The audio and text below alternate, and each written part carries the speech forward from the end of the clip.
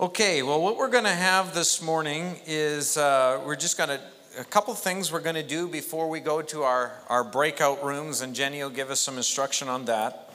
But uh, the first thing we're going to have this morning is just a short devotional from Renee Loux, who is the daughter of Flo Sasser.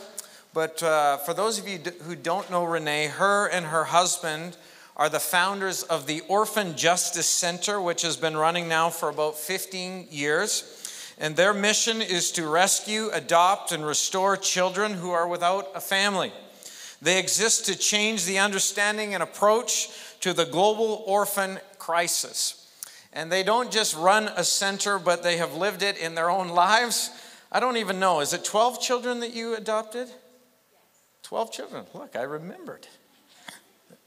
They adopted 12 children. So when Renee speaks, she speaks with authority as someone who's living out what, uh, what she believes. And it's so great to just have you here with us again. Renee, so why don't you come and just share what God has placed on your heart today? Let's welcome her. Yeah.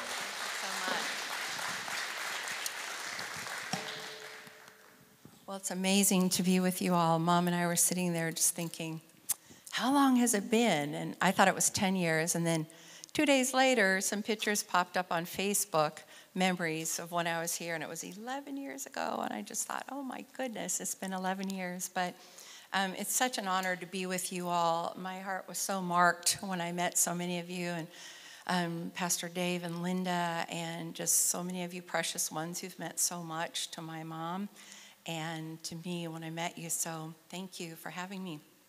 I'm going to get moving here because I have nine minutes and 24 seconds. So I'm watching, Jenny. Um, so um, I just wanted to talk with you. I'm going to put my eyes on here um, about what I feel is the greatest miracle of all. I love the topic of this conference. And again, I'm just so blessed and humbled to be a part of it. But um, miracles, again, wow, what an awesome topic. And we've just been so blessed to hear so many different ones share and individual conversations. And um, when I think about visible miracles, they're just beautiful reminders of the reality of even greater invisible miracles that happen all the time as Jesus regenerates hard and cold hearts, right? Human hearts. God is doing far more miracles than we even realize. And I remember as a young girl, I was really blessed to be a part of um, the last service that Kathryn Kuhlman held. How many of you have heard of her? a few. Um, she had the gift of healing, and um, I, I went with a couple. My parents were pastoring in Hawaii, and I went with a couple from the church all the way to California and sat. Um, first of all, we were in a line that went on forever. There were tens and thousands of people outside of the auditorium and inside. And I sat and I watched as um, people who'd been in wheelchairs their whole lives um, got up just weeping before the Lord because they were walking for the very first time. And blind eyes were seeing, you know, um, the lame were walking, the deaf were talking, um, or the blind, excuse me, the dumb were speaking.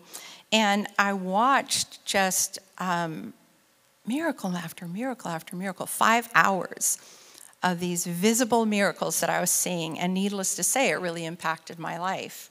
And as I shared with my parents, they were really impacted too. But I remember when my parents were missionaries in the Marshalls, also, um, there was a pastor named Empty Batunga. And he was doing a service honoring a man who had just passed away. And he had passed away a week earlier. And for some of you who've been, you know, who've traveled overseas, you know, the tropical heat and all that, you know, the things that take place when a body has passed away, you definitely know that they've passed away. That's all I'm going to say. Um, but this pastor, at Empty Batunga, was just, wow, just honoring the Lord and everything he had done in this man's life. And all of a sudden, this man just sat up in his coffin and everyone took off running. I mean, in every direction. And dad just stood there kind of watching, you know, what was going on. And, and even Brother Batunga just sat stunned, but then praise the Lord, you know. and he was so excited. And so you know, it was just unimaginable to them that even the things that they thought they believed God could do actually just happened right in front of their eyes.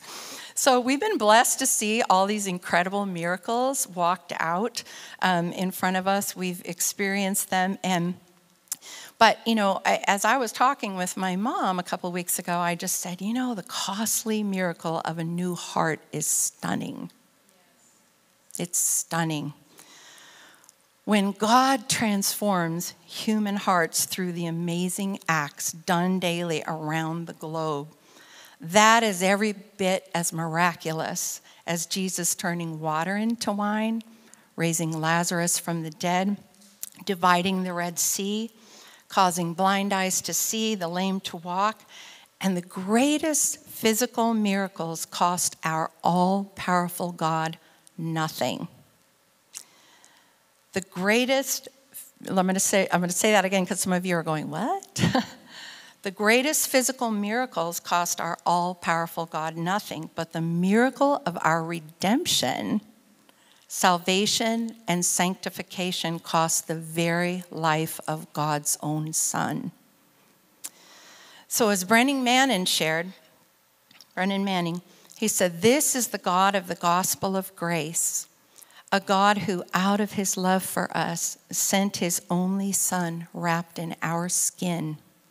He learned to walk, he stumbled and fell, he cried for his milk, sweat blood in the night, was lashed with a whip, showered with spit, was nailed to a cross, and died whispering forgiveness on us all. God gives us a new heart talks about that in Ezekiel 36 26. Makes us new in Christ, Ephesians 4 24, and completely changes our destiny from death to life, from hell to heaven, John 5 24. He takes alcoholics, sex addicts, drug addicts, pride addicts, and every kind of sin addict and completely works his transforming miracle in us all.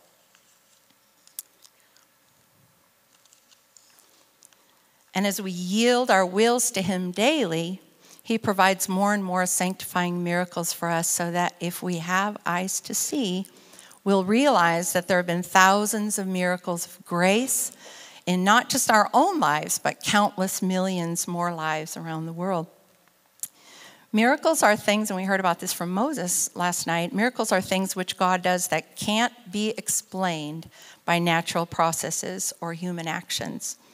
Every true conversion is a miracle. Amen?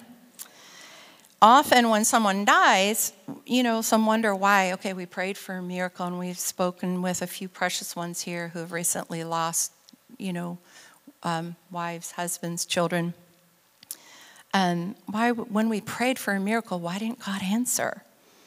And I had my own questions as I stood over the bodies of my 57 year old father who died from a blood clot my two and a half year old son who was born with special needs and passed away, my 37 year old husband who was killed two days before Christmas in a car accident uh, 14 years ago.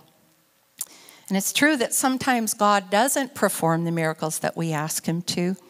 But I do feel that even though He didn't perform the miracle we asked for, that He performed many other miracles of encouragement, of grace, of comfort, of increased dependence on Jesus. And, you know, but one day I believe that we're going to see. We're going to, he's going to give us the answers. And possibly many of those miracles that happened, they happened because the miracle we prayed for didn't. That's something to think about. it's understood that we don't lack miracles in our lives, but what we lack sometimes is vision the eternal perspective that allows us to see, experience, and be blown away at these miracles. While some may say redemptive transformation is an invisible miracle, that's not completely true, since its effects are actually visible. So in 2 Corinthians 3:18 it says this, and we all with unveiled face beholding the glory of the Lord are being transformed into the same image from one degree of glory to another. For this comes from the Lord who is the Spirit. Isn't this invisible miracle, which is really an ongoing daily series of miracles, ultimately visible? These results in a life once characterized by the works of the flesh in Galatians 5:19 through 21, becoming a new life that bears fruit, a fruit that's visible by the indwelling of the Holy Spirit. But the fruit of the Spirit is love, joy, peace, forbearance, kindness, goodness, and faithfulness. So I say this every time Jesus forgives sin, he performs the greatest of miracles. In Mark 2 1 through 12, Jesus performed an amazing miracle by healing the paralytic. I feel that there's so much to be learned in this passage because the first thing Jesus did was to say to the man, Son, your sins are forgiven. He didn't heal him first. He said, Son, your sins are forgiven. He didn't heal him physically first. Then the teachers were offended because they thought, What right do you have? Why, why do you talk like that? He, you're a blasphemer. Who can forgive sins but God alone? Jesus then asked them, Is it easier to say to this paralyzed man, Your sins are forgiven, or to say, Get up, take your mat, and walk? So the answer to most is obvious. It's easier to say your sins are forgiven because there's no way to prove that that actually happened. But if you say, Get up to someone who's paralyzed, a miracle won't have occurred unless he actually gets up. So everyone will either see the miracle or know that it hasn't happened. So then Jesus said, But I want you to know that the Son of Man has authority on earth to forgive sins. So he said to the man, I tell you, get up, take your mat, and go home. Then the man got up and walked out in full view of them all. And this amazed everyone, and they praised God, saying, Wow, we've never seen anything like this. Though the people were amazed at the physical healing, probably most have missed the point of the greater miracle, which was forgiving the man of his sins. It was to authenticate the greater miracle of forgiveness that Jesus performed the lesser miracle of physical healing. So, why is it a lesser miracle? The fact that the omnipotent God healed physical problems with no effort or cost, but he could not heal spiritual problems nor forgive sin without dying on the cross for us. That was priceless. So, Jesus, we just come before you today, Lord, on this beautiful morning, and we just say, Thank you for the cross. Thank you that your blood has never lost its power, Lord. We stand before you thanking for the priceless, thanking you for the priceless miracle of redemption. Jesus, you gave it all so that we could have it all in you. We love you, Lord Jesus, how we love you. We just pray a blessing on each one today. Would you take all the broken things, would you take the suffering, turn it into something beautiful that glorifies you? In Jesus' name, amen.